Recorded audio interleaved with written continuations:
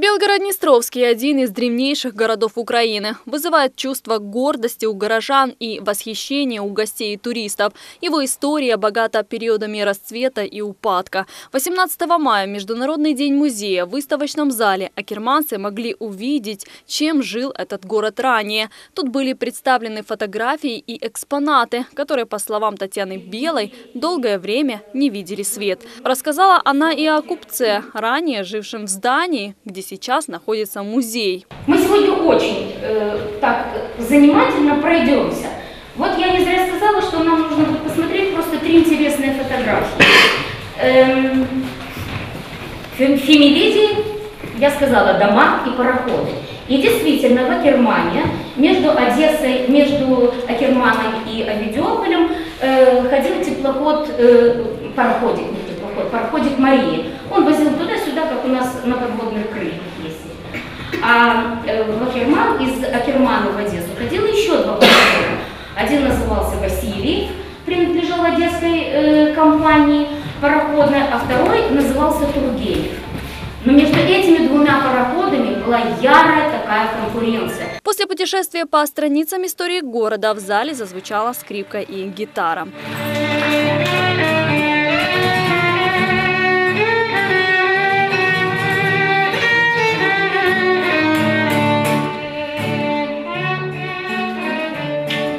Сотрудники Краеведческого музея работают ежедневно, организовывают выставки и экскурсии по городу. Как хранители истории и культуры они заслуживают самых искренних и теплых пожеланий. Их пришли поздравить гости и представители власти. Вручили грамоту. Действительно, у нас город очень уникальный и прекрасный.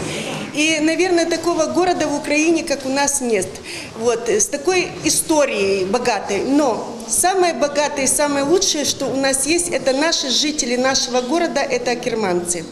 И у нас среди них есть особая каста. Это люди, работники музея и искусства. Я вам хочу сказать, что эти люди, они очень умные, грамотные, очень много знают, они интересные собеседники. Я хочу присоединиться, конечно же, к поздравлениям э, и сказать спасибо за понимание депутатскому корпусу, представители которого у нас сегодня присутствуют, и благодаря которому э, были на последней сессии добавлены э, деньги для того, чтобы немножечко дифференцировать работу специалистов. И уже в мае у нас э, наши научные сотрудники получат немножечко больше зарплату, благодаря тому, что мы смогли сделать это, и премию к Дню музеев. Героев праздника хранителей истории не только Белгород-Днестровского, но и края поздравил и депутат Одесского областного совета Виктор Андренков. Павловна, я в вашем лице хочу поздравить всех сотрудников э, музея и вообще музея всего мира с таким международным праздником. Спасибо. Спасибо большое. Хочу э, вас поблагодарить за то, что Однажды у нас был и совместный проект, дали да. возможность, вот знаете, есть такие моменты в жизни, ну, о них нигде там э, никому не похвалишься, вроде бы такая мелочь, но внутри оно дороже, там э, намного дороже разных других событий в жизни, о которых можно сказать или которые можно увидеть. Вот Татьяна Павловна предоставила возможность, там совместно мы обустроили небольшую экспозицию в музее, и такой, оставил такой след. Спасибо, что бережете историю нашего уникального, единственного, самого лучшего в мире города. Спасибо. Спасибо. Продолжился праздник уже во дворе Краеведческого музея. Под звуки саксофона и скрипки акерманцы знакомились с представленными экспонатами, рассматривали картины и, конечно же, говорили об истории неповторимого и уникального белого города на Днестре.